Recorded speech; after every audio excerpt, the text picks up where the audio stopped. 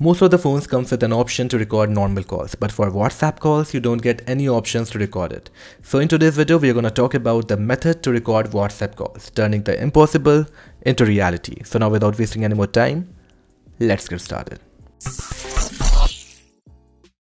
So the very first step is to download Cube ACR application on your phone. Cube ACR is a paid application, but you can find the free version link of the application in the video's description or in the pinned comment. After downloading and installing the application, open the app and then click on the next button.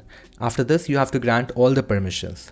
Also make sure that you have kept battery optimization settings off for this application, otherwise the application won't be able to record the calls. After this, turn on geotagging for calls option. Now you have to download Cube Helper on your phone and this is available on multiple platforms. Samsung device users can download it from the Galaxy Store as well and rest of the users can use Amazon App Store or can download the .apk directly on their phone.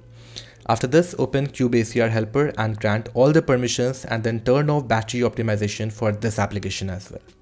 After this, you have to go to settings, then apps menu. Now find Cube ACR helper and then click on the three dots and then allow restricted settings.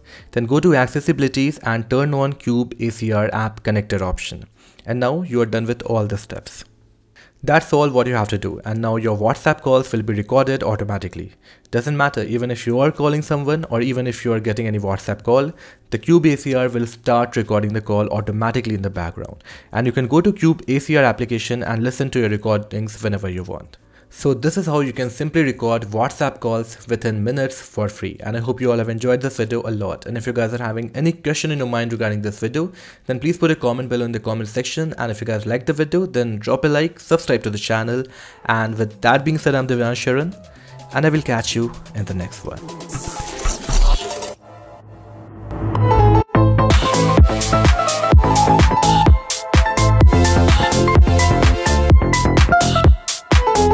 Oh.